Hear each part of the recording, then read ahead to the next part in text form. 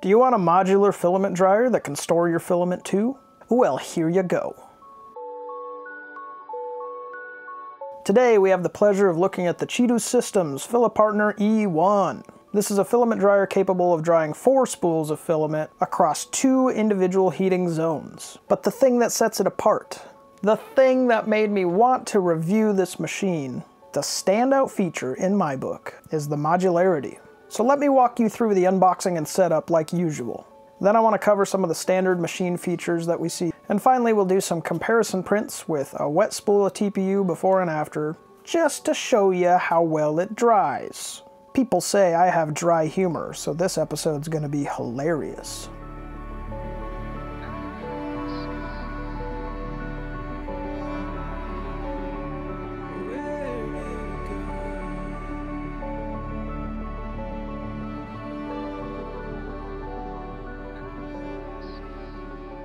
For starters, this is the box. It's similar to other boxes, but this one has more boxes inside of it. And when we remove the dryer boxes from the initial box, we open them up to find some PTFE tubing and the power cable. There's also desiccant packets in these little compartments below the rollers, and everything here is pretty easily removed and snaps back into place nicely. So for the filament dryer boxes themselves, that's about all that's going on. But going deeper into the initial box, we find the other half of this product.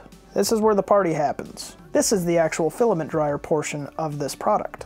This base here houses the actual dryers and fans, but it also has the controls for the unit. Turning on the base now, we're met with a fairly simple, familiar, but robust kind of user interface that allows you to set up your dryer. And it's pretty straightforward. There's things like filament presets available. You can of course set your duration and drying temperature. You can choose which box you want to heat you can even set those individual boxes to different temperatures and dry them individually. And you can do things like save your specific presets if you've got a repeated part of your workflow that requires drying. So the thing's pretty good straight off the bat. But I'm seeing a slight issue. This screen isn't the most responsive screen that I've ever poked. I don't know if it's just me or what the case is, but for some reason it doesn't seem like the screen's registering my inputs all that well. It's not all the time, but it's frequent enough that I can't actually determine if the machine is lagging or if I'm just not pushing directly on the right spot. It's not a huge deal, but it is absolutely worth noting. Especially because Chitu Systems provided this free of charge, it's important to me that I nitpick this machine as much as possible. You know, transparency and all that garbage. And on the topic of nitpicking and not being biased by being given free stuff, some of the plastics on this machine are kind of flimsy. Like the rollers are kind of cheap feeling and the lids kind of wobble around. I guess generally the thing feels a little bit cheap maybe. Now I'm not sure what price point this was built to or how much this thing's gonna cost, but if I had to guess, this wasn't meant to be the most premium top-end thing that you could possibly buy. It was probably made to a price point that's acceptable for things to be a little bit flimsy. But these are things you need to keep in mind as we move forward.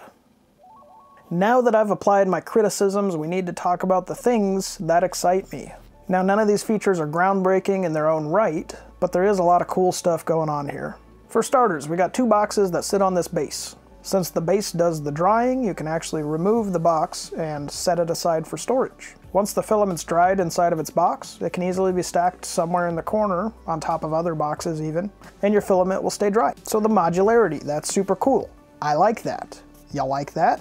I also like that it can dry things individually. So if you've got something like TPU on one side and PETG on the other side, you can still dry them both at the same time. You're not committed to one temperature or one duration of drying. They're individual.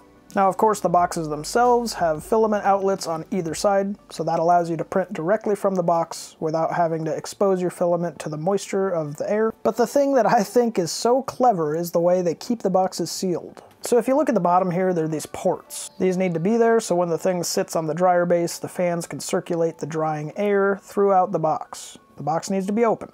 But what do you do when you want to close the box? You want to just store your dried filament. You need to close those ports, right?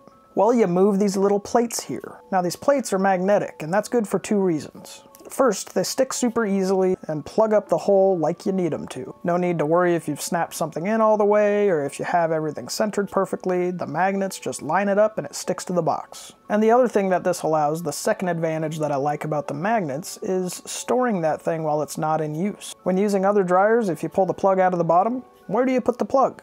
While the thing's sitting on the dryer base, you've just got this plug floating around in the universe just waiting to get eaten by your crazy dog.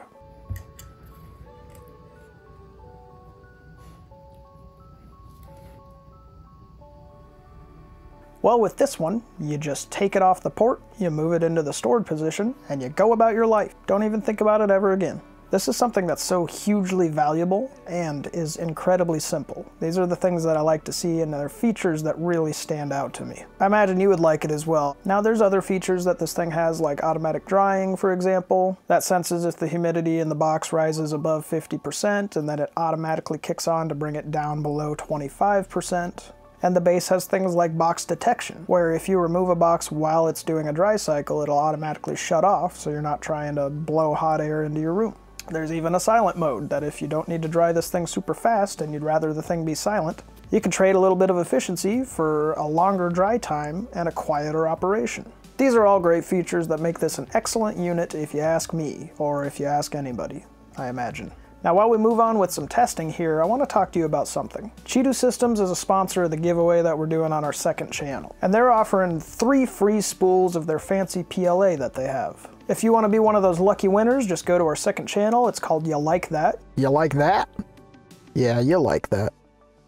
You need to watch the first challenge video that we have, which is called We Draw Random Filament, and listen for the special phrase in that video. It's the phrase that happens after I say this is the special phrase. From there, you can fill out an entry form in the description and that will get you entered. As soon as that video hits 50,000 views, entries are closed and we will draw winners and begin sending out prizes. So go check that out if you like free stuff and let us know what you think of that content. Now back to this filament that I left in my garage.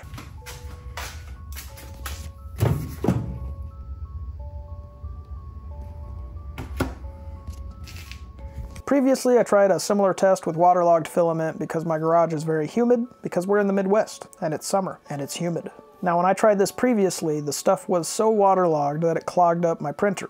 The print wouldn't complete successfully and that was kind of a bummer. Now this spool's been out there a few weeks, so probably it's gonna be worse. Or it's not gonna do anything different, or maybe the print will complete, I don't know.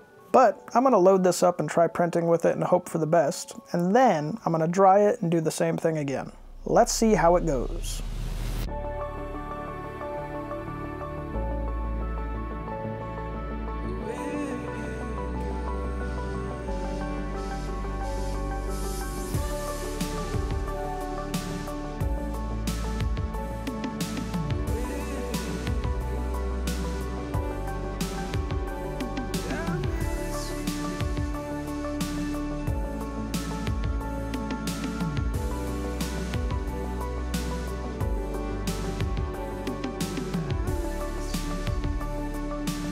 So there we have it, another filament dryer hits the market, but this one I feel like has a little bit more to offer. The modularity of the system combined with the straightforward attitude of the interface makes the addition of the FilaPartner E1 super convenient in my workflow at least. If you've got a filament drying need, you should probably check this one out. If you've got a dry filament storage need, you should probably check this one out.